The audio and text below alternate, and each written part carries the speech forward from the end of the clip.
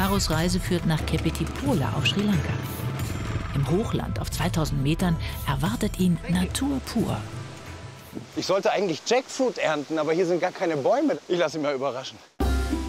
Auf einem abgelegenen Hof trifft Haro den 53-jährigen Chandrapala. Er lebt vom Obst- und Gemüseanbau. Unter anderem wächst hier die Jackfruit. Chandrapala besitzt sechs Bäume. Im ganzen Land wachsen rund eine Million Jackfruit-Bäume.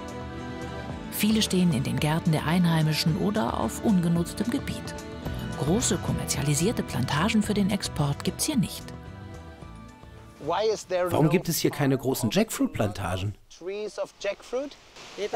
Früher haben wir nicht damit gerechnet, dass die Jackfruit heute weltweit so beliebt ist.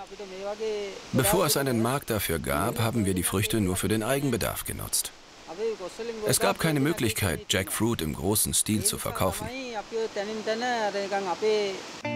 Heute ist das anders. Mittlerweile steigt die weltweite Nachfrage. Bis vor ein paar Jahren verdarben hier noch rund ein Drittel des gesamten Jackfruit-Bestandes direkt am Baum. Denn die Früchte gibt es im Überfluss. An einem einzigen Baum wachsen bis zu 200 Jackfrüchte pro Jahr. Wow. Wie soll man denn da oben rankommen? Also die hier, die gehen ja noch. Da kommt man ja noch irgendwie ran, ne? Hier. Ha! Schau mal hier. Diese Jackfruit hat die ideale Größe. Wir ernten sie unreif. So verwendet man sie, um sie als Fleischersatz zu nehmen.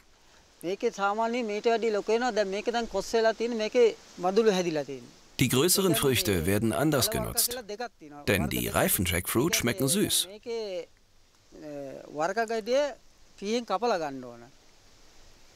Die kleinen Früchte kannst du ganz einfach mit der Hand abnehmen.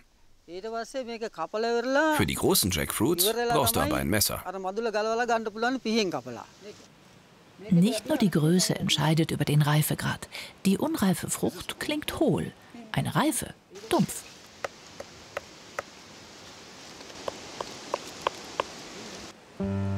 Zu uns nach Deutschland kommen vor allem die unreifen Jackfruits. Nach etwa vier bis acht Wochen ist die unreife Frucht bereit für die Ernte. Die Jackfruit wächst das ganze Jahr über in Sri Lanka. Damit der klebrige Saft nicht austritt, hat Chandrapala einen Trick.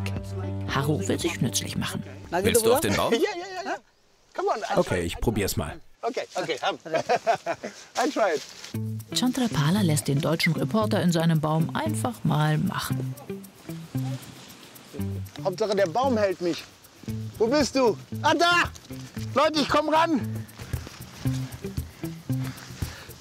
Juhu! Ich hab sie! Die vielen Jackfruchtbäume in Sri Lanka sind kein Zufall.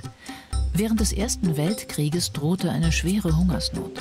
Ein Pflanzenzüchter importierte Jackfruitsamen aus Malaysia und verteilte die Setzlinge auf der ganzen Insel. Davon profitiert das Land bis heute. Kann dieser Baum eine Familie ernähren? Ja, der Baum reicht sogar für mehrere Familien. Viele Bäume auf Sri Lanka werden bislang noch nicht genutzt. Die Ernte ist aufwendig und sie übersteigt den Privatverbrauch der Einheimischen. Wer sie verkaufen will, darf auch auf fremde Bäume klettern. Der Besitzer bekommt dann einen Teil vom Gewinn. Wenn man aber jetzt so ein bisschen höher guckt, da wird einem schon mulmig, weil, na gut, also äh, man klettert ja auch nicht jeden Tag auf irgendwelchen Bäumen rum. Die Bäume werden bis zu 30 Meter hoch. Trotzdem ist das Ernten relativ ungefährlich. Gab es schon mal eine Situation, wobei jemand vom Baum gestürzt ist? An einem Jackfruitbaum passiert das nicht so oft, weil die Äste sehr dick und robust sind. Aber an Kokosnussbäumen kommt das öfter vor. Da sind die Äste nämlich nicht so stabil. Außer auf Sri Lanka wächst die Jackfruit auch in Indien, Thailand und weiteren tropischen Gebieten Südostasiens. Der Vorteil, die Bäume sind pflegeleicht und brauchen nur wenig Wasser. Und sogar für den klebrigen Jackfruit-Saft gibt es noch eine Verwendung. Damit reparieren die Einheimischen kaputte Gegenstände wie zum Beispiel Geschirr. Chandrapala zeigt Haro noch eine andere Methode, um die Jackfrüchte zu ernten, die hoch in der Baumspitze wachsen. Sein Arbeitsgerät eine einfallsreiche Kreation im MacGyver-Style. Den Stock nimmst du nur, wenn du die Jackfruit noch selbst zum Kochen verwendest. Wenn du sie verkaufen willst, müssen zwei Menschen die Jackfruit auffangen, sonst platzt sie auf. Mit dem sechs Meter langen Messerstock will Harro Jackfruits vom Baum schneiden. Das soll er jetzt allein schaffen. Nicht so leicht, wie ich dachte. Ich habe die Frucht erledigt.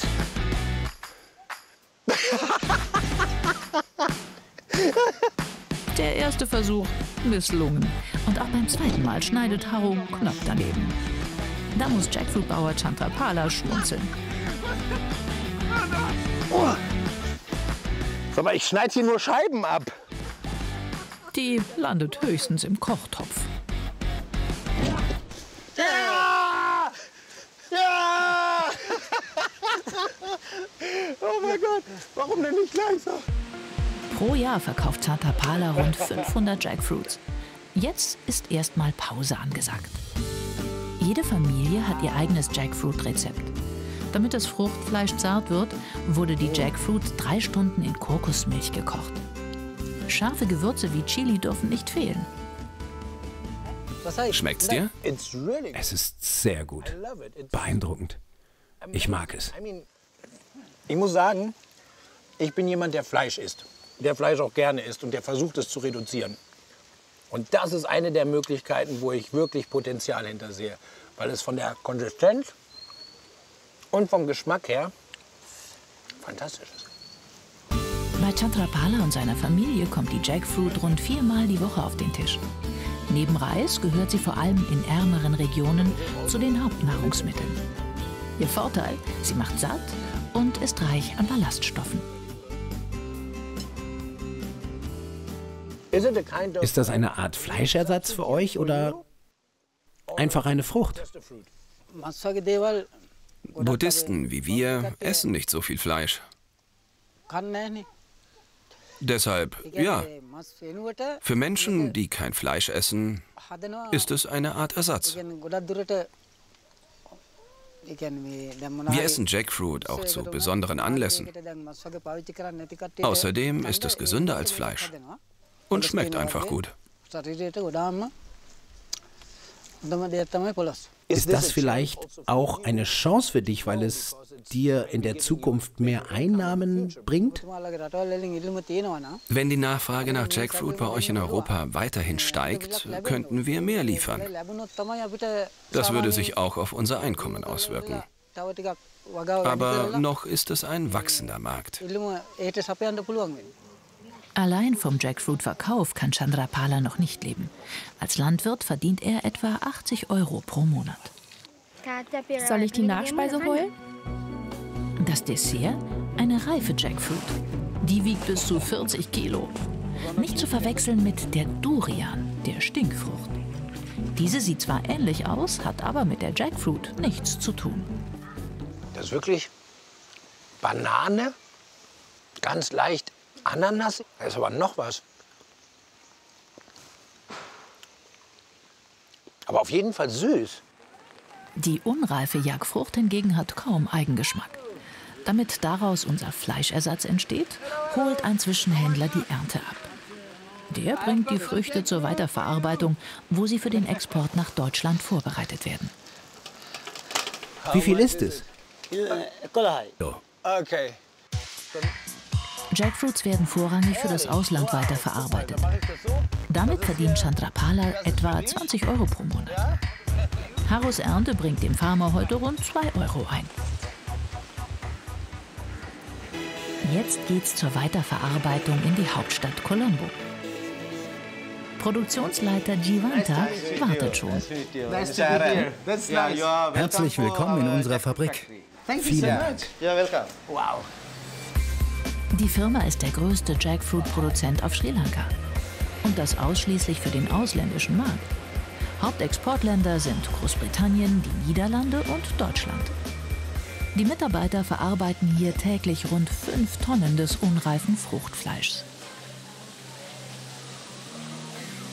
Fertig ist der Metzgermeister. Der Jackfruit-Metzgermeister.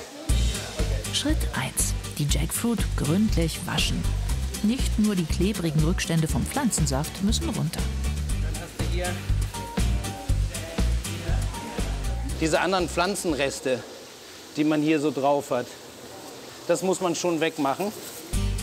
Insgesamt durchlaufen die Früchte drei Waschvorgänge. Das ist wichtig, damit keine Verunreinigung beim Schneiden entsteht. Jede Scheibe muss gleichmäßig dick sein, damit die Schale leichter abgeht. Doch davor gibt's noch ein Bad. Wir nehmen Zitronensäure, damit die Frucht nicht so schnell braun wird. Dann ist das genau das gleiche wie bei Zucchini oder ähm, Aubergine, dass man da zum Beispiel Zitronensaft drüber macht, damit es nicht so bräunt, sobald es an der frischen Luft ist. Es folgt die Königsdisziplin. Kein Fruchtfleisch abschneiden und vor allem keine Finger. Das ist eine kleine Challenge, die Schale mit diesem Messer abzuschneiden. Bei den Profis geht das ruckzuck. Sie schälen die harte Haut in einem Durchgang. Haros unsaubere Arbeit zieht schnell die Blicke aller Kolleginnen auf sich. Ein bisschen mehr Feingefühl bitte. Deine ist nicht so gut. Chivanta nimmt es mit Humor. Er kennt das Problem von zu Hause. Wie oft isst du eigentlich Jackfruit in der Woche? Einmal die Woche. Meine Frau mag die Zubereitung nicht so gern. Das Schälen ist sehr aufwendig. Nach dem heutigen Tag kann Haro das nachvollziehen. Vor drei Jahren begann die Firma mit dem Jackfruit-Export. Während früher ein Großteil der Früchte an den Bäumen verrottete, verkauft das Unternehmen jetzt 500 Tonnen pro Jahr. Eine Win-Win-Situation. Bist du überrascht, dass die Jackfruit seit ein paar Jahren so gehypt wird? Das gibt euch viele Möglichkeiten, oder?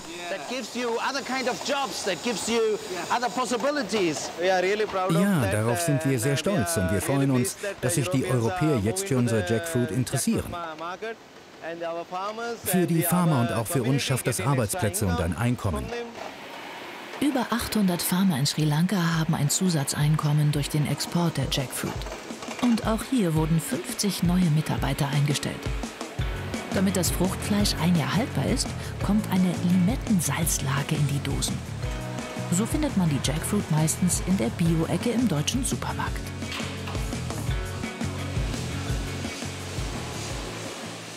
Durch den neutralen Geschmack nimmt die Jackfrucht gut das Aroma von Soßen und Gewürzen an. Für den europäischen Markt gibt es deshalb auch Fertiggerichte. Schaut euch das mal an. Das sieht doch wirklich aus wie Gulasch. Oder wie so Hähnchengulasch wegen der Fasern. Jackfruit in fertigen Gewürzmischungen, zum Beispiel mit Curry, ist vor allem bei Kunden beliebt, die die Frucht zum ersten Mal probieren. Diese Mischung besteht aus Tomaten, Knoblauch und Chili. Welcher Geschmack ist am beliebtesten in Deutschland? Barbecue. Im Supermarkt kostet der Fleischersatz rund 4 Euro. In Deutschland ist sie jetzt schon ein beliebter Fleischersatz. So sieht es also aus, wenn es bei uns im Supermarkt ist. Was ich total spannend finde, ist, wie viel Handarbeit da jetzt noch drin steckt. Wird sich wahrscheinlich ändern, weil dieses Business steht ja noch am Anfang. Und wenn die Nachfrage steigt, kann sich auch vieles drumherum verändern. Eine Frucht, die Kleinbauern in Sri Lanka eine neue Chance bietet. Und für uns eine leckere Fleischalternative.